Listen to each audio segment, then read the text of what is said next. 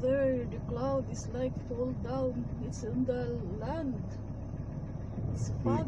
because of the cold uh, air so the coldness is more heavy than the the light so it's falling down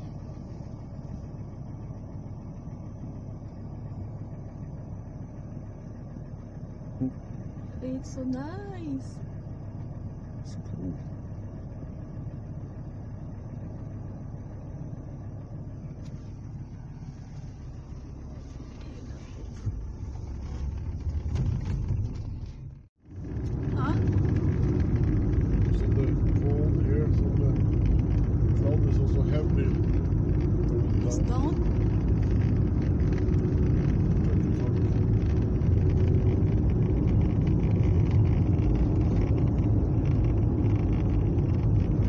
Jesus.